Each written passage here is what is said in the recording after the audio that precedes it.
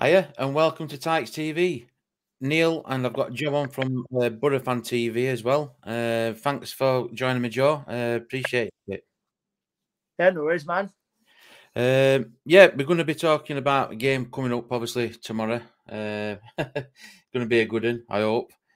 Uh, but uh, first things first, uh, talk about a bit about Middlesbrough. Um, obviously we're down at Doldrums kind of thing early on in the season. What, what you know, Chris Wilder's come in and done a great job for you. What's uh, how's it panned out for you for you with Wilder? Have you been, uh, you know, has it tick, ticking all the for you at the minute, Joe?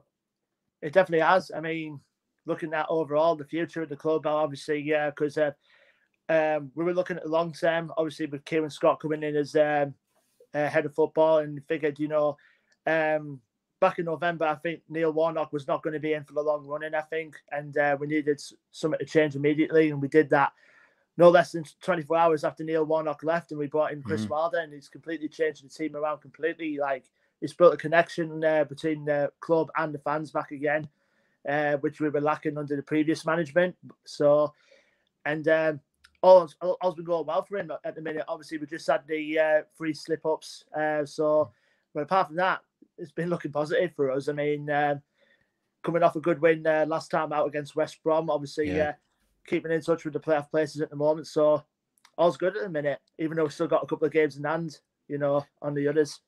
Yeah, but, I think that could be a crucial thing as well. Uh, just looking at table, you've you've played 32 and you've got like Huddersfield and others what have played 33. So, like I say, you just more or less just start on a, by a point from top six. Mm. Um, and it was weird that because when Neil Warnock left, you said more or less 24 hours later, Chris Wilder's coming. And it's mm. took him a great run. I mean, confidence and that in players must be unbelievable. And you must be seeing that on pitch as well with self belief in players. Is is any players what were under previous management were mm, not having quite good game, but all of a sudden Wilder's coming, he's got best. And can you, can you see that as a fan? Mm. Um, well, at the start of the season, um, one of our players, Isaiah Jones, was probably uh, one of our um, players looked, looked like he was going to be heading out on the loan spell again. Funny enough, he was on loan in the uh, Scottish Championship last season with Queen of the South. So, mm. and ever since our first game of the season, which was away at Fulham, he came in and he's been absolutely amazing for us since. Considering you know, a couple of years ago we bought him from uh, non-league Tooting and Mitcham, believe it or not. So and, and he's doing amazing since then. Um, quite a lot of players have come in. Obviously, um, Andraz Sporar currently our top scorer this season with um, eight goals so far this season, and um, he's uh, probably consider him a danger man as well. And uh, considering um, who we bought in in January as well, um, Riley McGree is one of the players that we recently bought who's slotted into the role which uh, Matt mm. Crooks obviously left because uh, Matt Crooks is one of our star players, but he'll be suspended for this game because he's currently on a two game ban, which he picked oh, up for picking right. up uh, 10 yellow cards. So Matt Crooks won't be involved, but Riley McGree certainly will. And um, yeah, there's a lot of players. Marcus Tavernier is another one. Um, and quite quite a lot. So I mean, we've got two strikers in on loan in January, like Aaron Connolly from Brighton and Flo Balogun from Arsenal.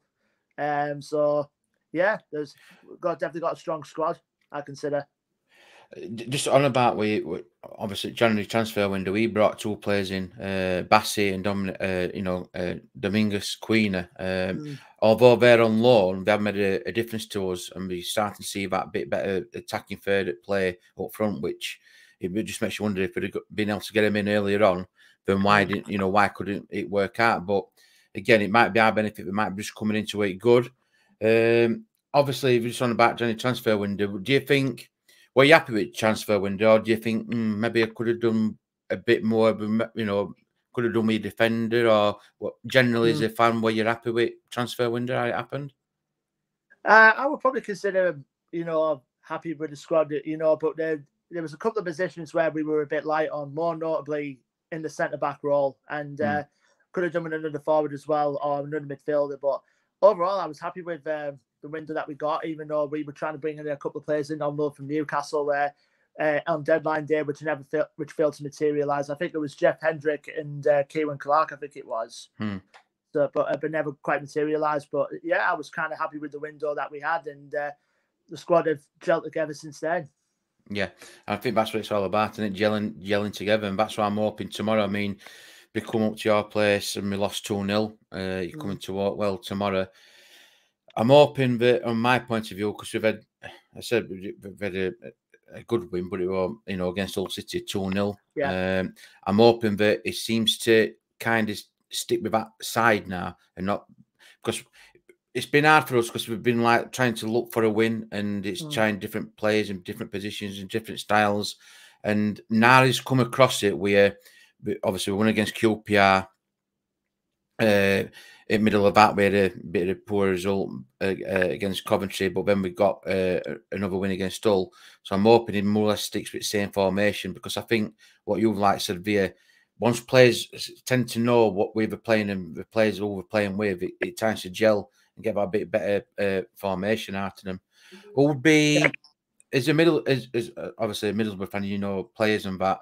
Who would have been more, the more standout player? Who should Barnes be wary of tomorrow? Who, who would be, or it might be players, it might be a few of them. Yeah, as I said, um, Isaiah Jones, Andraz Sporar, two to mention. Obviously, mm. uh, got a higher ratio of assists, and um, Sporar currently our top scorer this season with eight goals. And he's another player we got on loan as well. He's on loan from Sporting Lisbon, so I could definitely say them to watch out for, and as, as well as Riley McGree as well. And uh, Paddy McNair has been impressive for us this season as well, as well as Dael Fry in the heart of that defence. And um, yeah, I would definitely say those players to definitely watch out for. And going back to what you said on the recent game you picked up against Hull, I mean, you, are doing it as well. I think if you've got a couple of key players out injured, uh, yeah, I presume so. Like Woodrow Woodrow's one of them. Hmm. Um, but I, if I if I had to look at the squad you got now, see if there's a, a threat from yeah, from your side, I'm definitely going to have to say Callum Styles is probably your best player, probably without a doubt. Yeah, it, it and it's a good point that because he's been played about in three different positions. He's, he's played light on left, which he wore left wing back last vast majority of last season. We've tried him in midfield, which is his preferred position, but I think he's found now his position where it's just playing behind uh, forward. He's like in out on wing, but not you know, it's like a floater kind of thing. If you know what I mean, trying to about link up play, and mm. he scored his you know scored a goal. He took that well against Hull, and uh, Morris just before half time. And I think with the Quina and Bass coming in, it skid yeah. players a bit of a, a wake up call, and like a fresh impetus, and it's great to see because the frustrating thing about it is that we know what kind of play styles is, and mm. he might have a good game, but he might have four or five go missing, then he have a good game. So just mm. getting back consistency back. Uh, like I said, we've got Woodrow's out. He's not going to be out. Well, I think April time after his injury. Mm. Uh, another player who's been out. He's been Brittain, uh, Callum Brittain. Uh, again, another player who likes to attack, but again, it's mm. confidence. It's all about confidence. For me, for my side, um, I'd say Carlton Morris is starting to, you know, yeah. since he's come back from injury. Carlton Morris is a threat. Callum Styles, like you said, Bassi is is uh, passing ball about well. Hmm. Dominic Quina on loan from Watford, and I was surprised. With, I think he only played about four games at Fulham on loan, mm. and it just goes to show he can't get it Fulham side, but in in Barnes' side, he's, he's started every game since he's you know since he's come on loan. So yeah. I think for me, them a bit. I mean, then you could go back to like uh, Brad Collins in goal and that. But for my, I've said danger players, I'd be looking at them, and it's obviously going to be attacking third. All being well, all being well. Um, mm. formation side, you, can't see Chris changing much. He'll just stick to his same way. Yeah, definitely. He likes to play like wing backs and overlapping centre backs, and uh, I think it's like the three holding midfielders and then the two up top. So mm. um, that, that's kind of normally plays. I think um, we usually have a good first choice scorekeeper in there, Joe Lumley, but he does uh, make his errors from time to time. So mm. that's uh, the only bit of gripe that the Borough fans have with the recently is just with the goalkeeper situation. But I honestly think Joe Lumley's done well for us this season. I don't mm. think there's there's been a couple of games that you know um, where he could have saved us from absolutely nothing, basically, and a couple of bad results even there. But I like to say, he does have his mistakes, but he's been trustworthy for us this season. Yeah, good point about what you're on about uh, Lumley. It's like a bit with Brad Collins. I know he had a couple of fluffs, you know, in, in previous games, and there were, you know, were questions going about, oh, probably we're going to reconsider and you know rest him, and or, mm. it's a nice way of saying drop him. Uh, but I look at it in long term. I think, well, look at what he's done throughout the season. He's been, he's saved us more points than what he's lost us. So I think we a goalkeeper spotlights on him kind of thing because we're always like more or less last line of defence, aren't we? So for an error, it's like, oh, you've crossed it, but you don't see what we've done through game and after. So yeah, it's a fair point about what you said about uh, Lumley with goalkeeper situation. Um, I think Barnsley. I'm hoping he'll stick to the same formation like now what he has done against Hull.